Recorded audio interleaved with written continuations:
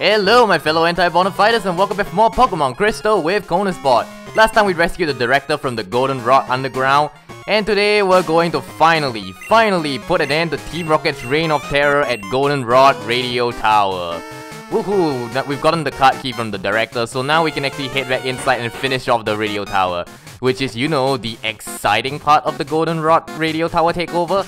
I already pretty much mentioned that the underground is pretty much like, uh, it's just there, but the radio tower, heck, heck yeah, die-hard apartment star, long, tall, very tall building takeover.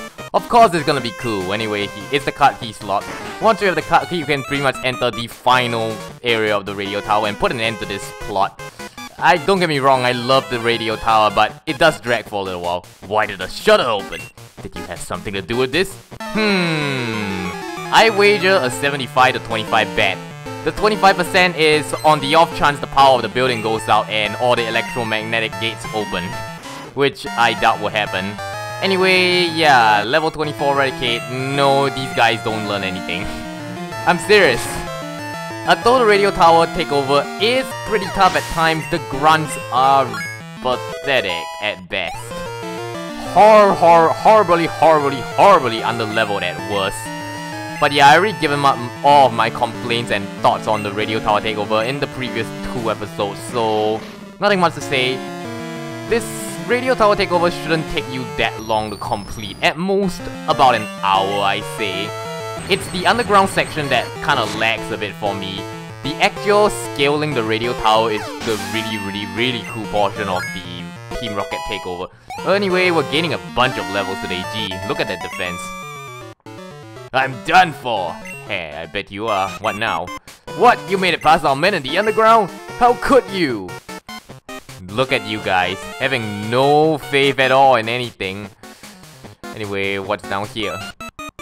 This is an optional one, but I'm gonna fight them regardless. Don't I think Pokemon are cute? Is that the Whitney quote? I think my Pokemon are cute after they beat yours. Okay, nice subversion there, nice subversion. I thought they were gonna say, Pokemon are super cute. You know that that, that code has reached meat status by now. Anyway, yeah, Ekans. Nothing much to say about it. We already fought Arbok by this point. These guys are pretty... I sort of wonder if these guys are hiding. I mean, like, they have a lot of very, very, very powerful rocket grunts in the uh, underground and the other portion, but these guys after the shutter, they are pathetic. Anyway, looks like we have Oddish here. Gee, I wonder who is going to roast the Oddish. Yes, I have Flame Wheel. I'm not afraid to send out Basil now. Basil hasn't had much screen time before the Team Rocket Radio Tower takeover, but now this beast will destroy. Flame Wheel, as I already mentioned, is actually better in Pokemon Gold Silver Crystal compared to its remix Heart Gold Soul Silver for Typhlosion and Quilava because the physical special split actually nerfed Flame Wheel. Oops. For Typhlosion at least, because Typhlosion's actually has higher special attacks, so yes. Flame Wheel becoming physical actually wound up screwing it over, so as to say the least. Anyway, let's send out Ekans. Another Ekans. Nothing much to say about it really.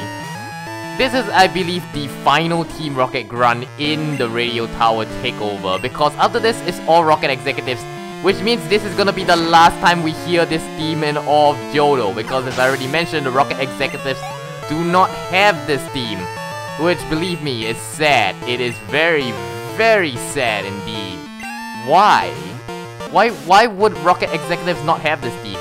I actually would have thought they fixed this in Crystal, but no, even in Crystal this bug still remains. It only got fixed in the remix Heart Gold Soul Silver. Thank goodness.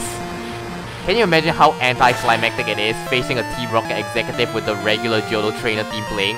Don't get me wrong, the regular Johto trainer team is cool, but this team is also cool. It just seems off. That's what I feel. Oh no, they're so useless! But they're cute. You said they were cute. I love my beautiful self. Who cares about Pokemon? Gee, that's mean. Aw, poor Meowth. M oh, it's DJ Mary. Why? Why do I have to suffer through this? Meowth, help me. Eh, Meowth is doing nothing. Alright, let's switch. If this is the trainer I'm thinking of, I'm gonna switch Maggie in front because I believe this guy is actually pretty tough. Oh boy, here it comes. Stop! I'm known as the Team Rocket Fortress. You're not taking another step. Ooh, a fortress, eh? I wonder how many Pokemon this guy has. Actually, no lie, the Rocket Executives are much, much harder than the uh, Team Rocket Grunts. Okay, this guy has one Golbat, but its level is ridiculous. 36! That's higher level than Jasmine Steelix. It's probably not as strong though after I Thunder Shock it in the face, but seriously speaking, that's pretty mean. Pretty dang mean. Whoa, Jesus. that, that health, that, look at that health, look at that health. Yeah, this guy could potentially be a bit of a threat if you're not prepared for him. He is Executive Proton in the remix has the same ridiculously high level Golbat, I believe. I forget. But there he goes. The fortress came down! You've earned my respect, so here's some advice. It's not too late. You can still turn back. Fine. Eh, just kidding. Why would I? I'm about to finish this off. Fifth floor, Studio 1. Ooh. they both say the same thing. What's the point of having two signs then? Game, please. Anyway, I think I want Jason in front for this if I'm not wrong. Oh boy, here begins. Remember me from the hideout in Mahogany Town? I lost then, but I won't this time. Yep, it's Executive Ariana again. Final battle, uh, not too much of a threat again. Has the almost the exact same Pokemon, I believe, except, um, yeah, fully evolved this time, and higher level, the typical thing. On the whole, Team Rocket's radio tower takeover isn't that bad, I'm not gonna lie. The Rocket executives are the only guys that will probably give you trouble, honestly, in the whole of this thing. Because besides that, ooh, you stupid troll. Besides that, nothing much else really to it. I mean, yeah. I'm, I was really, really underleveled for most of the game, and yet I'm still able to wreck much of this place. Again, point... What is it with this game? Normally I have such bad luck with poison sting poisoning me, but in this game, very, very rarely does it happen. Of course, I get the critical hit right there. Thanks, Jason. Thanks a lot. Okay, next up we have Vile Vileplume. I'm gonna be switching to Basil for this one. Nice, nicery. Maybe we can get Basil to evolve into Typhlosion. Maybe, just a passing thought. I don't know, I don't think I'm... Yeah, I probably won't be able to do it this episode. Maybe next episode. We'll see. Poor, poor Vileplume's gonna get wrecked. I really do like Vileplume though, it has a, such a nice design. My brother actually has a shiny Vileplume in his Pokemon Arceus Oh, you really, you really think that's gonna do anything to me? Ha ha ha, nope. Poor, poor guy. What? That... That's it. From now on, I'm just gonna use Flame Wheel. Flame Wheel for the win. That was pathetic. I'm not gonna lie, that was really, really, really pathetic on Basil's end. See, this is why I didn't use you for so long until you got Flame Wheel Basil. Are you really gonna disappoint me again? Don't you dare disappoint me. Don't you dare disappoint me. Anyway, another Murkrow. Nothing much to it. Nothing much to it. I think I might as well just experience Stall the guy. I mean, I, I don't know what to do. Zeo needs some experience as well, so I'm just like giving experience to the lower level team members at this rate. To hell with the effort values. Look at that. That actually did a lot. Whatever. Eat a headbutt in the face. That didn't do much. Zeo, why? Am I really getting wrecked by a Murkrow? That's it. A thunder shock to the face. Oh, are you joking me? Pursuit I had no idea no pursuit. Well, dang. What is it with Zeo keeping... I want Zeo to evolve via happiness. Why do I keep faint... Why does Zeo keep fainting on me? Why does this game hate me? Why does this game not have Mareep? Ah, whatever. Nothing much to it. No, I should have just sent out Maggie from the start or something at this rate. This can't be happening! I fought hard but I still lost! Yeah, whatever. Tonus, isn't it? A brat like you won't appreciate the magnificence of Team Rocket. That's too bad. I really admire your power. Yeah, she really does. In the remix, she actually says, It's such a shame. If you were to join Team Rocket, you could become an executive. Which, believe me, would be cool. It's like that one team, it's like that one fan game where they like say, Hey, you wanna join us at Nugget Bridge? Heck yes, now let's wreck some stuff. Oh, you managed to get this far. You must be quite the trainer. We intend to take over this radio station and announce our comeback. That should bring our boss Giovanni back from his solitary training. We are going to regain our former glory. I really like that line. I won't allow you to interfere with our plans. So here we have the final Rocket Executive in the Radio Tower takeover and pretty much of Team Rocket actually. Uh, Executive Archer. He is a fire type spammer, which I have to admit is pretty nice because there aren't a lot of fire type trainers in Johto, but by this point you should have a water type mon, otherwise you wouldn't be able to get the scene in the first place, so basically spamming Surf is the way to go. He's actually pretty dang strong, his levels are pretty high. Yeah, level 33 Houndour, that's, that's pretty nuts I gotta admit. Anyway, next up we have Koffing. Yeah, I really know how to take out the Koffings. Like I don't know how to take out the Koffings. Send out Maggie. Abuse their very low special defense by hitting them with a Thunder Shock. And furthermore, to to add insult to injury, get defense effort values for Maggie. Yeah, I pretty much know it already because everyone and their mother spams Koffing in this freaking place. So yes, I pretty much know the strategy of taking out Koffing by now. It's like seriously speaking. Anyway, another Thunder Shock. What? Smoke screen, how dare you? How dare smoke screen do this to me? Other than that, yeah, this is the last this is the last guy with a take out in the Team Rocket Tower Team Rocket Radio Tower, Goldenrod Radio Tower. See, I'm I'm even used to calling the radio I'm even used to associating the radio tower with Team Rocket by this point because as I already mentioned, this this portion of the game is really cool. Level 35 Houndoom, that's pretty dang nice. I believe it's level 38 in the remix, I'm not too sure. Hits pretty hard. Oh gosh, not the flinch. Oh no, not the smart. Don't poison me, please. Please, please.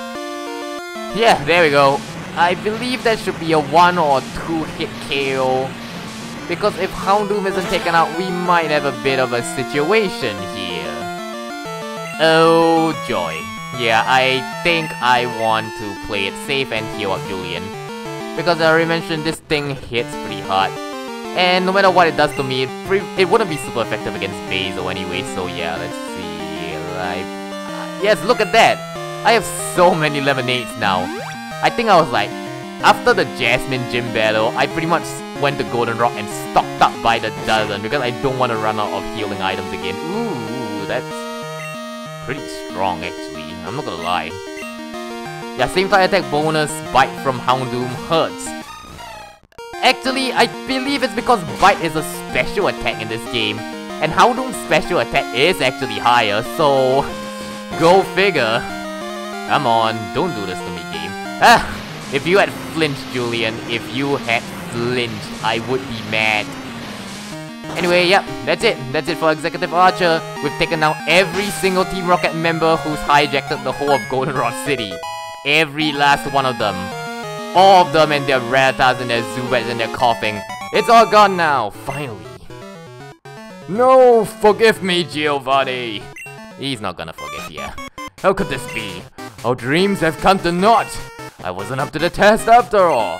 Like Giovanni did before me, I will disband Team Rocket here today. Farewell. Alright, bye. As I mentioned, Team Rocket really don't do much in Johto. They are probably like one of the most underwhelming villainous teams in this game, eh, in the entire series actually. Konis, thank you! Your courageous actions have saved Pokemon nationwide! Again, I don't... I like how they just mentioned the save Pokemon nationwide as an afterthought to getting Giovanni back. I mean like, it's more like Giovanni, getting Giovanni back is the main point and oh man, we could hijack the radio tower and play radio waves that cause everyone to go brain nuts crazy as the after, as the, as the like secondary plot. I know it's not much, but please take this and receive the clear bell. This is an, it's an item exclusive to Crystal actually. Uh, there used to be a tower right here in Goldenrod City, but it was old and creaky, so we replaced it with our radio tower. We dug up that bell during construction. I heard that all sorts of Pokemon lived in Goldenrod in the past. Perhaps that bell has some connection to the Tin Tower in Ecruteak City. Ah, that reminds me, I overheard Team Rocket whispering. Apparently something is going on at the Tin Tower. I have no idea what is happening, but you might look into it. Okay, I better get to go to my office. Alright, bye-bye, director. And yep, that's it.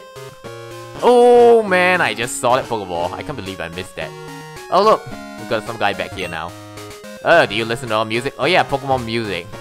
uh, sometimes I guess. I like Pokemon Lullaby. And we get an Ultra Ball for our trouble. It's not worth it. We can easily get those things, seriously. yeah, but once we finish off Team Rocket, we basically get can get all sorts of prizes. Oh yeah, hi little savior, will you take this in my thanks? Another Pink Bow? Ah, uh, and my item bag is full. Freaking brilliant. I'm gonna I'm gonna ditch some of the apricorns. I got I wanted to get those for Kurt, but whatever. Alright. Alright, let's take the Pink Bow. I already have one for uh Furret Jason, but whatever. It's just right for Pokemon that know normal type moves. An extra one wouldn't hurt. I mean, it's cute. We've saved everyone! Hoorah! Look at that, nobody's panicking now. Thank you, you're my hero. This is a token of my appreciation. Receive TM11. I believe that is Sunny Day. I'm... I'm... See? I knew it! I remembered! It's Sunny Day. I, Power Ups Fire type moves for a while. I was like, eh, wait, is it Sunny Day? And then we're like, yeah, heck yeah, I remember. We're recording to the cry of all Pokemon that have been found. We must have about 200 kinds. I'm sorry. I listened to the radio when I was at the ruins. I heard a strange broadcast there. Yeah, if you listen to the radio when you're at the ruins of Alph, I forgot if I shown this off. Some very, very weird broadcast plays. It's a bit creepy. Hello, Konis! You know, I love Pokemon. I built this radio tower so I could express my love of Pokemon. It would be nice if people enjoyed our programs. Yeah, I do. I use First time I played Pokemon Gold, I used to listen to the radio all the freaking time. It's so cool.